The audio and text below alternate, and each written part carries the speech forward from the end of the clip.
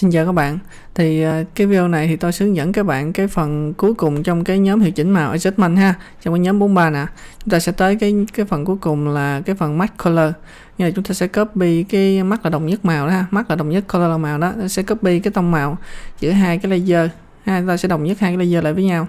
Rồi thì này cũng tương đối là đơn giản rồi. Ha. Rồi đầu tiên thì các bạn sẽ thấy là cái à, uh, sử tôi có một tấm ảnh cái cô này đi thì tôi lấy từ trên mạng thôi ha.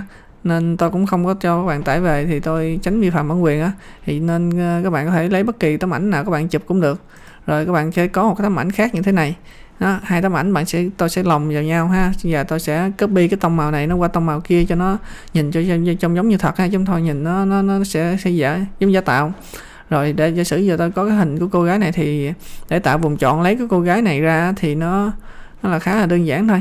Thì các bạn chỉ việc là có nhiều cách thì các bạn sử dụng ha. Giả sử tôi làm nhanh thì tôi sử dụng, sẵn đây tôi ôn lại bài cũ luôn. Chúng ta chọn à, cái à, tạo vùng chọn bằng cách là Wismat này ha, đích đầu chuột trái vào đây. Đây Wismat là tạo mặt nạ vùng chọn nhanh đây. Bạn chọn cho tôi cái à, select ở dưới là tạo vùng chọn cái mặt nạ là cái vùng chọn này ha select đây. Rồi, ok sau nữa, sau đó các bạn sẽ chọn cụ rết nè, màu fora là màu đen, thấy chưa? Rồi cái nét cọ vẽ là cái nét mềm thôi chứ không có cần nét cứng cáp những nét mềm thôi ha. Rồi, ok. Rồi ta vẽ lên trên cái ờ, cái cái phần mà chúng ta sẽ lấy làm vùng chọn giả sử tao vẽ lên cái phần rìa như thế này. Thấy chưa? Tao vẽ lên cái phần rìa. Để ta lấy cái vùng chọn thôi. Thì có nhiều công cụ tạo vùng chọn lắm này cái cái lấy tóc mai thì lấy kỹ thì chúng ta sẽ sử dụng cái công cụ Refine ha. Trường hợp này tôi ờ, tôi làm nhanh để tôi hướng dẫn cho các bạn thôi ha đây tôi làm nhanh như thế này.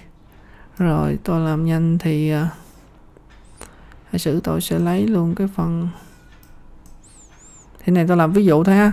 Tôi làm ví dụ thôi chứ um, chứ đúng ra thì nó nó cái ảnh cái, cái cái bức ảnh này nó không được hợp lý cho máy chúng ta lấy cái phần này luôn thì nó không được hợp lý cho máy ha.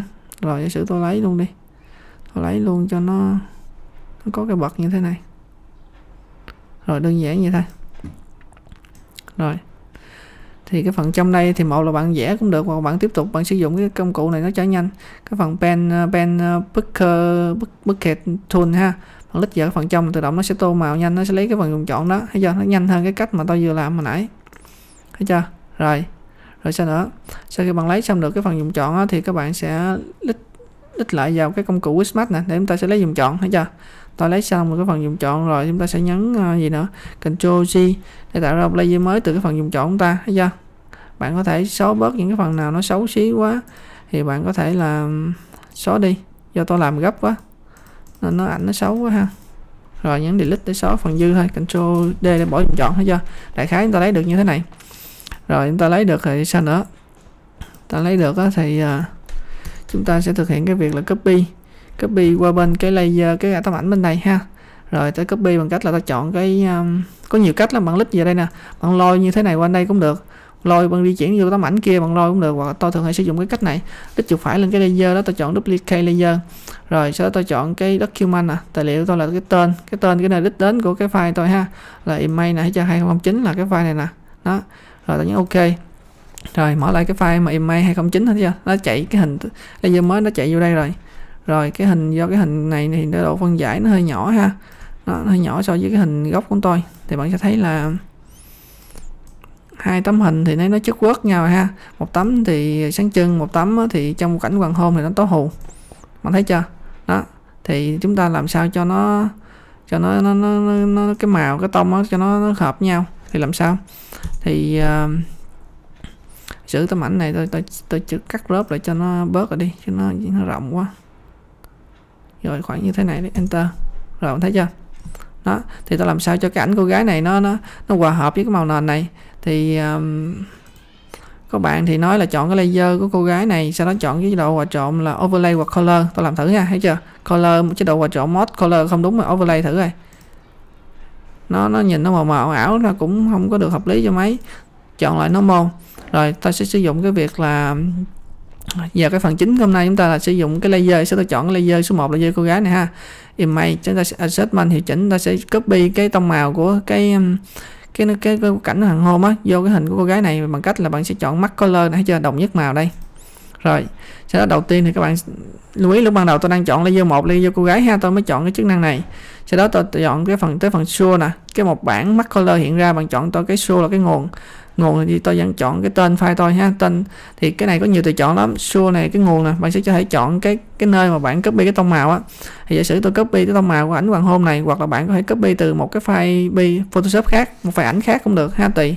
Giả sử tôi copy cái cái nền ảnh hoàng hôn này của cái layout background nè, trong cái file ảnh tên là image 209 hay chưa? Tôi chọn đúng cái tên, cái file ảnh chúng tôi là hai image 209 sau đó sẽ hiện tiếp cái layer thì trong bức ảnh chúng ta sẽ có nhiều layer trường hợp này giả sử tôi muốn copy theo cái layer background ha. Layer background là chọn layer background xong thấy chưa? Bạn thấy cái hình cô gái này nó đã nhìn cảnh thực tế chúng ta là bên tay trái nè. Nó đã tiệp màu với cái ảnh hoàng hôn mà thấy chưa? Nó rồi cơ bản là đã uh, được cái phần nội dung rồi. Giờ chúng ta sẽ tùy chỉnh cái uh, một số thông số cho nó nó tương đồng một tí thì cái hình cô gái này giả sử như bạn tùy chỉnh ở trên cùng là gì? Cái này là tùy chỉnh cái mức độ sáng tối thôi thấy chưa? Kéo tay trái thì bức ảnh cô gái nó hơi tối kéo bên tay phải thì nó sáng lên thấy chưa? Đây là cái phần tùy chỉnh thêm đây nè tôi kéo lên sáng thấy chưa? Nó sáng hơn một tí rồi. Sẽ tôi cho mức độ sáng như vừa phải thôi như vậy đây. Rồi cái thứ hai cái dòng thứ hai đó, color intensity là cái này là gì? Cái này là tùy chỉnh cái độ ấm hay là lạnh màu thôi. Kéo tay phải thì cái cái bức ảnh chúng ta giống như là được tô màu xanh dương lên nghĩa là cái mức độ tông lạnh á tông lạnh hay tông tông ấm á kéo bên phải thì nó sẽ là cái tông lạnh hay lạnh thì tới mà được tô sinh xanh dương ha laser tô xanh dương. Còn bạn kéo qua tay trái á, thì sẽ được tông ấm. Nghĩa là nghĩa là cái tấm laser chúng ta sẽ được phớt lên một cái lớp à, một lớp màu hơi ấm ấm tí ha. Đó sẽ nhợt nữa chưa đó nó sẽ nhạt, nó sẽ biến thành màu nó giả sử giờ tôi tăng lên đi. Tăng khoảng để ở mức độ vừa phải đây. Tại vì cho nó hòa hợp với màu nền thấy chưa? Nghĩa là bạn kéo về bằng không luôn thì nó sẽ gần gần như là trắng đen trắng đen luôn, thấy chưa? Đó. Bạn kéo phải kéo lên. Kéo này giống như là tăng, tương tự như cái à, độ bảo hòa saturation vậy ha. Ở trên là sáng sáng tối, ở dưới đây giống như là cái saturation vậy đó. Rồi ta sẽ bớt lại saturation, cái độ bảo hòa cho nó tương đối thôi. Rồi, sau khi bạn chỉnh sửa xong á thì bạn sẽ có thêm cái phần phay này cái gì? Cái phay này tương tự như cái opacity vậy đó. Ta sẽ tăng hoặc giảm cái à, cái độ trong suốt. Không phải cái độ trong suốt mà là tăng giảm cái mức độ. Cái mức độ mà nãy giờ chúng ta điều chỉnh toàn bộ hai cái dòng ở trên ha. Có nghĩa là giả sử tôi kéo lên 100 trăm đây, thì đây chính là bức ảnh gốc của chúng ta. Thấy thấy chưa? Đó, nghĩa là chúng ta, cái này một trăm phần trăm, có nghĩa là cái việc mà chúng ta đang làm mắc color bằng không. Còn bạn tăng lên cái này, bạn giảm cái số bảy mấy phần trăm là cái bạn đang giảm đang giảm cái mức độ mắc color nè. Thấy chưa? Đó đây 100 trăm là đây là nó quay về cái bức uh, nguyên trạng cái bức ảnh gốc. Còn bạn giảm xuống là có nghĩa là bạn đang tăng lên đang tăng dần lên cái mức độ mắc color đó. Mức độ đồng nhất giữa hai bức ảnh. Đó. Thấy chưa? Đó. Đây là 100 trăm là bức ảnh gốc. Còn đây là không trăm là không trăm của file này chính là áp dụng toàn mức cao nhất đó cái cái cái hiệu ứng là mắc color đồng nhất hai màu. Nhưng mà tôi cho nó hơi uh, sáng một tí. Cho nó muốn hơi hơi quay về bức ảnh gốc một tí. Thấy chưa? Thì khoảng cỡ mức độ này là vừa, thấy chưa? Tùy các bạn thôi. Cái file này thì tương tự như các bạn thực hiện cái thao tác ở phía ngoài nè. Edit file, thấy chưa? Hai này nó tương tự nhau. Edit file đây với file đây thì tương tự nhau. Nghĩa là bạn vừa thực hiện một cái thao tác nào đó thì bạn sẽ vào trong cái edit file này để tùy chỉnh lại mức độ phần trăm của cái à, thao tác đó, nghe mức độ mạnh của thao tác đó ha. 100% là mạnh nhất, còn giảm xuống thì bạn phải giảm phần trăm, giảm xuống của cái mức độ mạnh của thao tác đó. Rồi. Còn cái này là gì? Cái này thì tôi ít sử dụng lắm. Cũng cũng dùng cũng được. Cái này là chúng ta sẽ hòa hợp cái bức ảnh bức ảnh mà góc chúng ta với cái bức ảnh mà sau khi điều chỉnh ha. Hai cái nó hợp nhất với nhau. Nó bạn sử dụng cũng được. Hoặc là không sử dụng được, tùy các bạn nè. Nó tôi dùng thì nó sẽ trong sáng một tí. Thấy chưa? Rồi sẽ tôi tôi không dùng thì nó sẽ trong tối hơn. Đó. Rồi tôi cứ không, tôi để gì cho nó đẹp. Ok. Thấy chưa? Chỉ đơn giản vậy thôi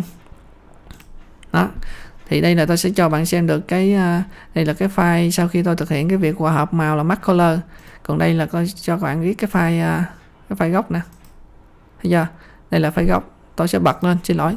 Tôi sẽ thực hiện cái việc là uh, đây tôi sẽ bật lên cho bạn xem. Đây đây là cái file đây là cái file gốc mà khi chúng ta chưa thực hiện cái việc mask color. Thấy chưa? Còn đây là sau khi thực hiện cái việc áp dụng mask color là đồng nhất cái, cái hai cái laser nhau đồng nhất màu hai laser lại nhau ha trong nó tự nhiên ha. Rồi thì cái video này thì à, là kết thúc luôn cái phần mà image adjustment thì chỉnh màu ha. Còn cái phần HDR toning này á, thì tôi hứa tới phần bài tập tôi sẽ hướng dẫn lại. Rồi thì à, cái, cái video sau thì chúng ta sẽ tới những cái phần khác tới từ số 44 trở lên. Rồi hẹn gặp lại các bạn trong các video tiếp theo.